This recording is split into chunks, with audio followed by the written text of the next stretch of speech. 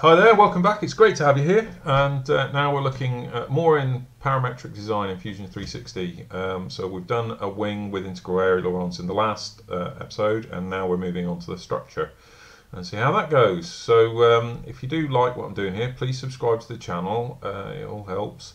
And if you like the video, well, hit that thumbs up and uh, hit the notification bell. That will help you find out about new videos when they come along and will also help others find the channel in the future. In this part of the uh, video series, um, we're just going to look at uh, putting in these hex structure items. So um, this is a concept I've been working up. I'm not sure whether, well, I do know it basically works. Um, I've not tried it with these hex um, pieces before.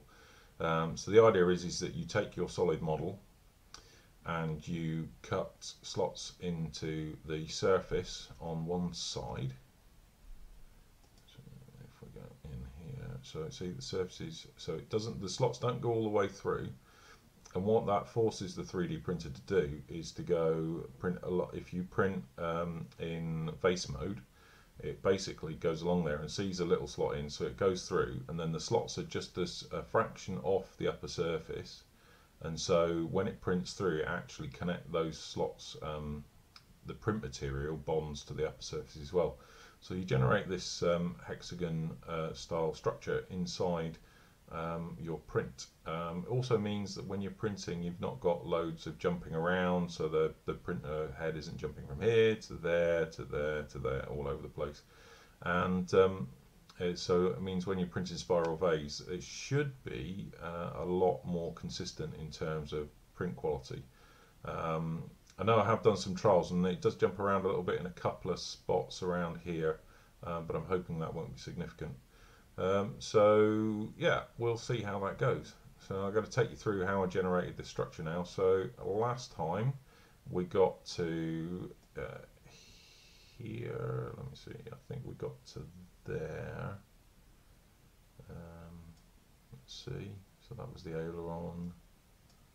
Yeah, yeah, so we got to there. So let's uh, take you forward from here.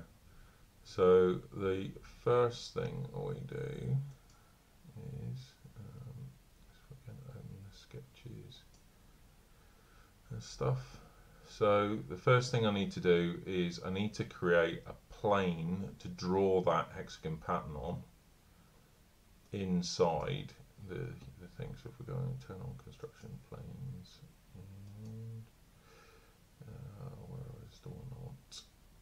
this one, wing structure plane. So there you go. So you can see I've generated a plane that runs through the um, wing. Uh, it's actually based on the quarter chord line and it, I use the uh, dihedral angle to position it along the axis of the aerofoil. So now I've got a plane that I can draw my hexagons on.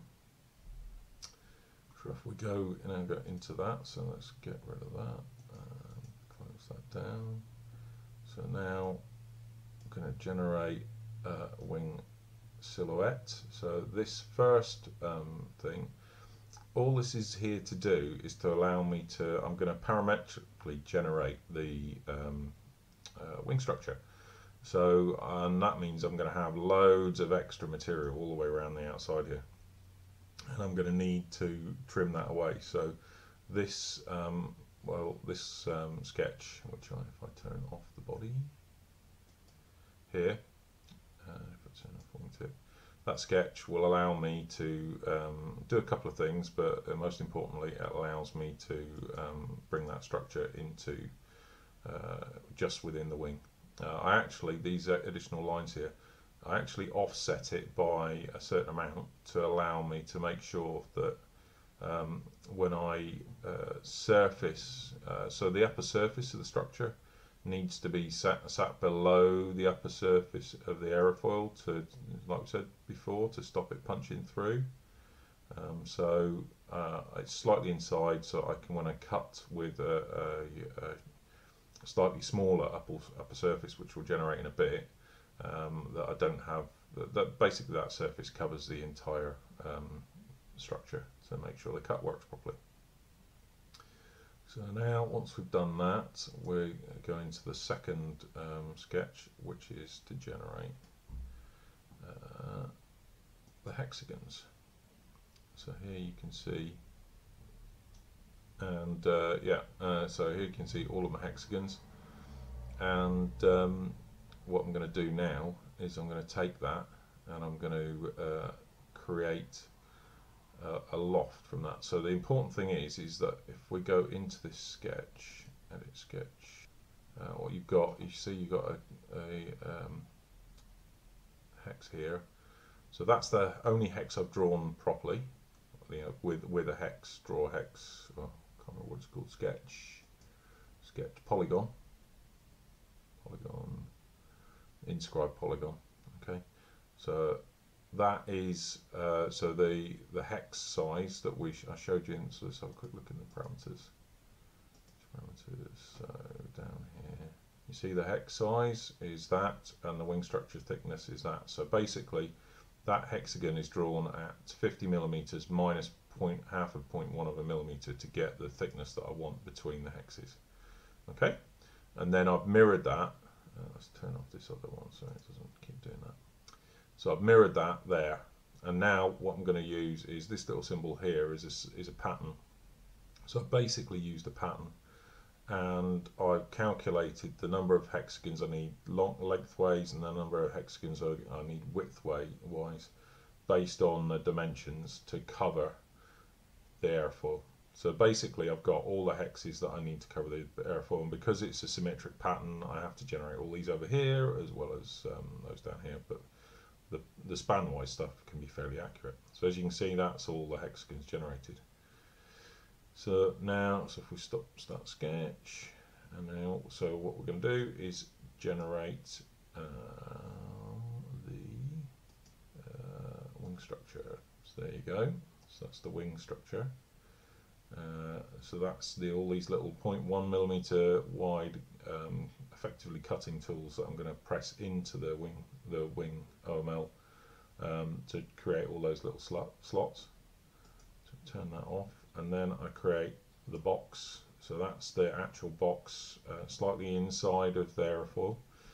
And now I'm going to combine the two. So I end up with just the structure inside the um, airfoil. So you see all, that's the structure and you can see that now that's starting to come. Now the trick with this is that actually I want to cut the top of this structure off just below the upper surface of the um, of the wing. So how do I do that? So um, from the previous episode you might remember I generated this additional body here. So if I go in and turn off the wing OML, turn off that and turn on no that's not oh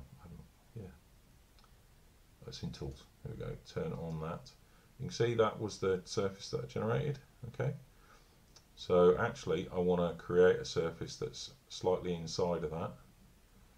Um, so what I'm going to do is I'm going to create a patch within that. So if we do that, um, now got, if we're looking here, oh sorry, actually no, I need to um, cut that so I only have the top surface. So I've generated a patch from the um, the wing plan um, sketch, this uh, wing silhouette sketch that I generated. So I've generated that patch to cut it. Now I'm going to cut that so I've only got the upper surface.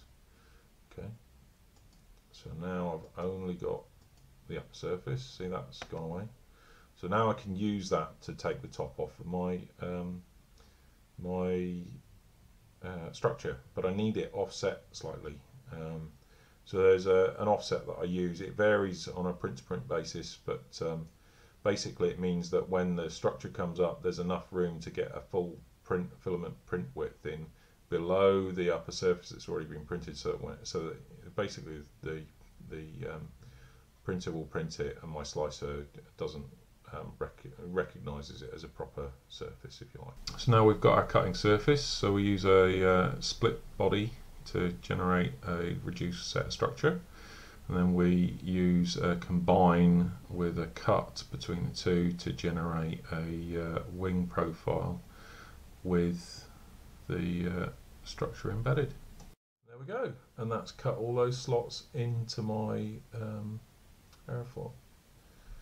And now, so that when you 3D print it, will generate uh, all the structures inside. Um, so later on, when I've done a bit more work, I'll go through and I'll show you that in uh, in Simplify 3D. Uh, but for now, there you go. That's uh, how to generate uh, parametric structure within a uh, wing. So I hope you like enjoyed the video. Um, if you did, then please like it. Uh, please subscribe to my channel, hit that notification bell. And if you'd like to see more stuff, then perhaps have a look at my website or check out the videos linked at the end of the credits. So thanks for your time. Uh, catch you again soon. And um, yeah, take it easy. Cheers.